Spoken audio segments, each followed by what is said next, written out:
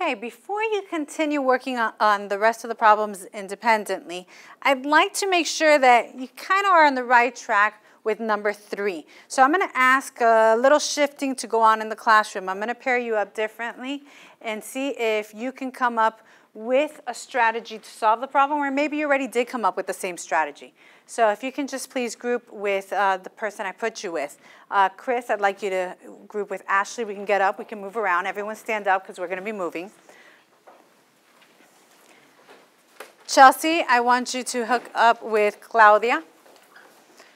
Josbel, go ahead and hook up over here with Hector. Ernesto with Annabella.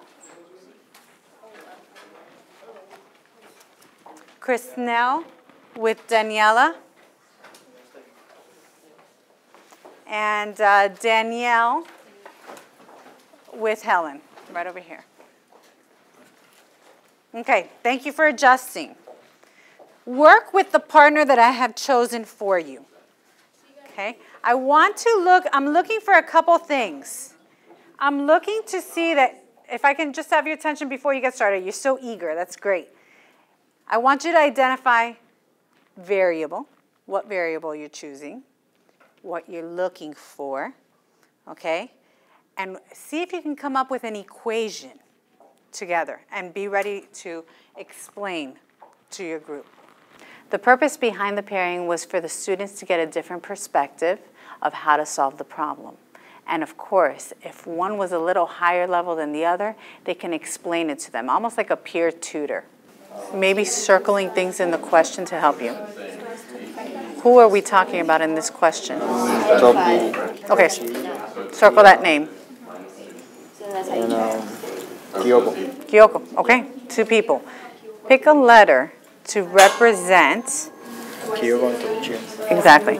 Okay, um, the K for Kyoko and the T for Okay, so you know together their, their ages equal to how much? Um, uh, the sum, the sum of their ages, the sum of Toshiko's and Kyoko's ages together equals 79. Okay, so 4 plus 79? Well, Kyoko mm-hmm. and Toshiko equals 79. Okay. She's going to be 79? Mm-hmm. Mm-hmm. Kyoko's is four. Kyoko is, well, we don't know that yet. But we know Kyoko is K, because you told me Kyoko. Okay. So K. K. Okay. Now tell me what Toshiba is. What does it say Toshiba is? Four. Four. Years old. More. More, yeah. Four. Than. Um, Kyoko.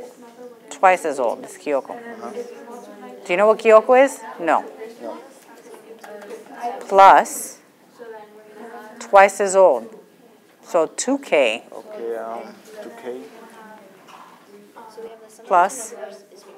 Four. Right, four. Good job, Josbel. Okay, so that represents, who is that? Um. Good job. That's Toshibo. Okay, now combine like terms. Hector, continue to explain how you combine like terms, please. While I was doing informal assessments walking around, I wanted to pick on the students uh, to come up to the board First, I wanted one that would know how to clearly explain the problem to the students. But then I also wanted to pick a student that perhaps had a little bit of learning difficulty understanding the lesson so that that way they could be assisted by maybe the peer that was standing next to them or they could even call up their partner to the board to assist them. And then I wanted to pick somebody that had an aha moment I saw somebody really struggling when I was doing informal assessments. Then all of a sudden, they got placed on that board and they knew exactly what they were saying. They were able to clearly communicate with the rest of the students what the problem um, was asking and communicate that effectively with the students to solve it. Josbel, let's start with you. I want you to first tell me what your variables are. The variables are um, um, uh, K and T. Okay. And um, over here I put um, I, I put um, 1 plus 2 is 3. And then I. Uh, oh, I need help here. You need help, all right. You can call on your partner to help you. You worked with your partner, work together. Assist him in the process. Yes, um, I should strike 4 um, to 79.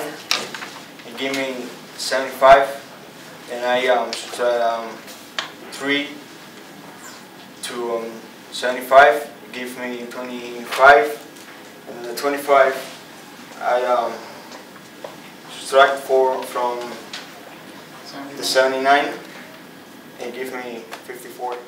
Okay, excellent job. But it felt horrible understanding the problem because you were talking, and talking, and I'm like, okay, I was so lost for such a long time. And then it was like, yes, finally, you know what she's talking about. What caused you to finally get it?